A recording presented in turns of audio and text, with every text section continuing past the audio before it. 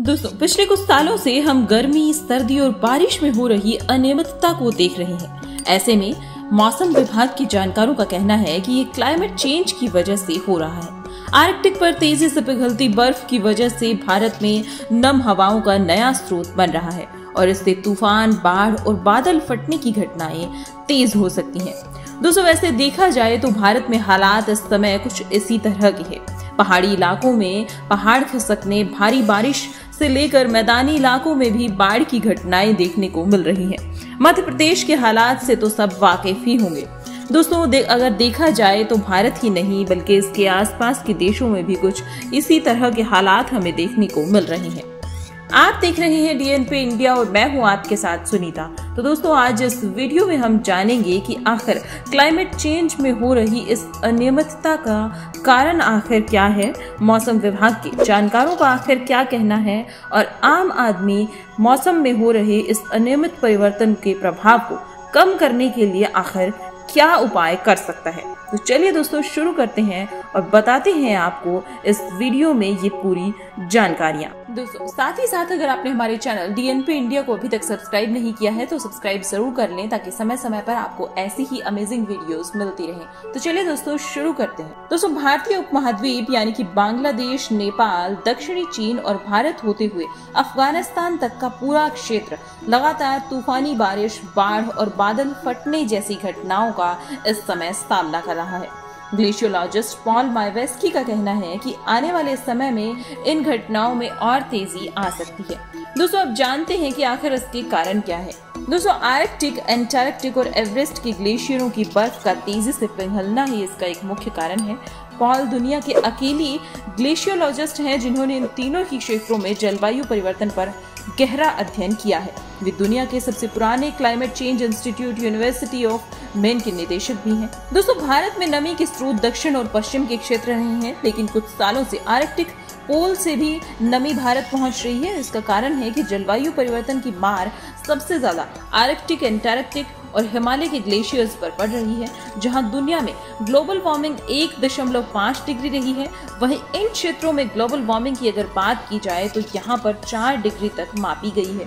बर्फ़ के तेज़ी से पिघलने के कारण और इसमें नमी और तेज हवाओं के कारण ये हवाएँ हिमालय के उत्तर और दक्षिण में बढ़ने लगी हैं और लगातार बह रही हैं। और दोस्तों, जब ये ठंडी हवाएँ निचले इलाकों की गर्म हवाओं से टकराती हैं, तभी तूफ़ान आता है। लिहाजा भारत में तूफानी बारिश और बाढ़ की आशंका बढ़ने लगी है।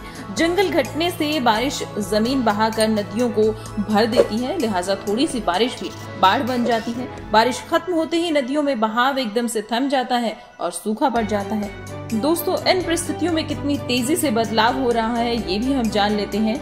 नब्बे के दशक में हमें लगता था कि बदलते परिवेश का असर लोगों को 50 से 90 सालों में महसूस होगा। लेकिन अब ये 10 से 30 सालों में दिखने की आशंका है। क्या आपको महसूस नहीं हो रहा कि बादल फटने की खबरें आजकल ज़्यादा ही बढ़ रही हैं? बादल फटने का मतलब है नमी इतनी ज़्यादा होना कि जो कुछ दिनों में लगातार बारिश होने वाली थी, वो कुछ घंटों में ही हो जाए। और हिमालयी क्षेत्र में ग्लेशियर लेग बर्स्ट भी इससे बढ़ रहे हैं। दोस्तों, रोज़मर्रा का जीवन इससे कैसे प्रभावित हो रहा है, ये भी जान लेते हैं। बर्फ़ की अगर हम बात करें तो बर्फ़ स्पंज की तरह प्रदूषण को सोख लेती है ग्लेशियर में। एकत्रित जहरीले तत्वों से नदियाँ दूषित हो रही हैं और इनका पानी पीने वाले बीमार हो रहे हैं। साथ ही साथ, बर्फ़ का रंग भी स्लेटी होने लगा है। वातावरण की गर्माहट छिटकने के बजाय, देर तक बर्फ़ में बनी रहती है, जो बर्फ़ के पिघलने की रफ्तार को बढ़ा रही है। और इससे हिमालयी क्षेत्र में बर्फबारी से बारिश ज़्यादा हो रही है। दोस्तों, आइए अब जानते हैं कि आम आदमी के पास इसकी क्या उपाय है। इस समस्या की अगर देखा जाए तो कोई वैक्सीन तो बन नहीं सकती।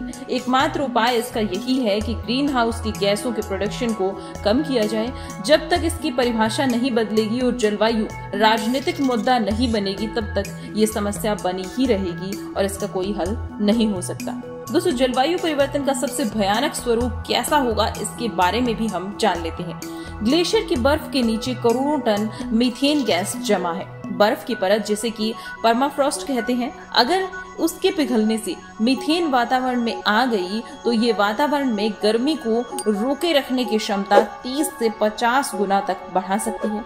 और गर्मी बढ़ने से दुनिया का आइस कवर पिघला तो समुद्र का स्तर 70 मीटर तक बढ़ जाएगा। जो लोग समुद्र के किनारे नहीं रहते, उन्हें इसकी वजह से भीषण सूखे आग, जंगल में आग और धूल के बवंडर झेलने पड़ सकते हैं। तो दोस्तों, इस तरह से क्लाइमेट चेंज हमारे जीवन को सीधे तौर पर प्रभावित कर सकता है। हमें इसकी ओर ध्यान देना चाहिए। तो दोस्तों क्लाइमेट में हो रहे इस अनियमित परिवर्तन का कहीं ना कहीं एक बड़ा कारण मनुष्य ही है।